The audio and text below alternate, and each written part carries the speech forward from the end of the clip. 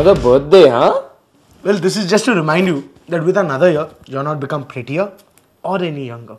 But still, happy birthday. Happy birthday. Eh, मेरा है पहले. मेरा Eh, अच्छा चलो किस करते हैं रोज को oh. अभी देख और एक रोज आएगा नीचे से Love triangle नहीं यार.